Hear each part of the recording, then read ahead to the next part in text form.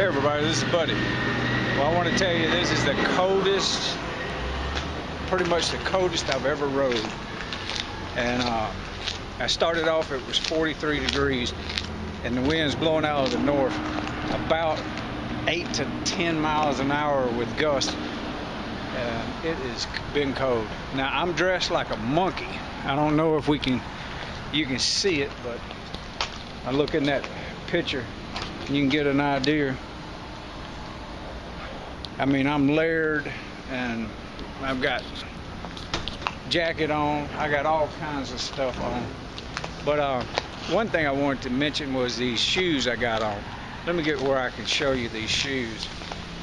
I had these things since 1994 and they have held up really good. I mean, that is worn, but just this cold weather, last few days, I noticed that that separation started. So I got to come up with some adhesive to put there. Now this one is really worn. You can see, I mean, I need to replace that. It's worn down. Evidently, 1994, these have to be some of the best shoes. They don't even make them like this anymore. But they've held up really well, really well and it is cold.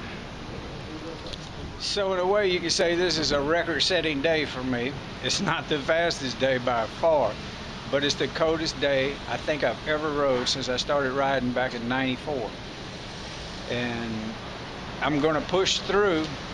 I'm just testing the clothes I got on right now and how many layers I got on and everything just to see what it's gonna be like if I was to even go colder than 43 and um, so I can't get wet I can tell you that much. I can't do it in the rain. Even if I had a rain slicker on I don't think I'd want to do it.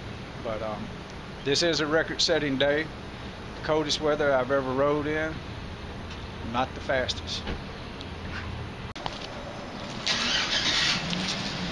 That is the Pepsi man rolling out Pepsi hoses. Yeah there's like I think 15 lines in it Dang. Let me let me step on it. I, will okay. I'll step on it for you. All right, thanks. I want to look at the end of it. Yeah, look at that, people.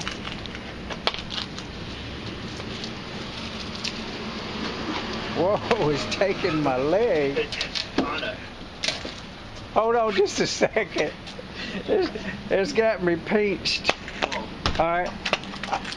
Now go ahead.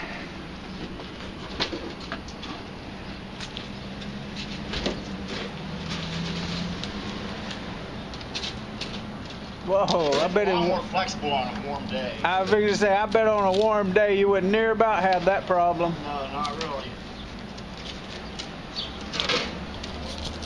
Well, this is the kind of stuff I see sometimes on my bike ride, but this time I jumped in to help. The other day when they was cutting that big log, I wasn't going to even say a word. I thought that log was going to roll over on that man. But check out the picture of the man cutting the log.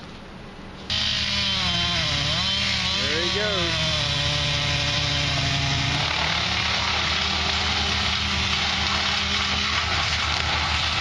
And it's down.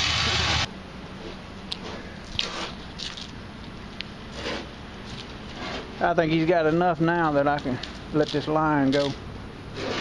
Ones I have met all agree we are living in prophetic times. The ancient satanic cult is finally being defeated. Thanks for listening and watching. Subscribe and share. Are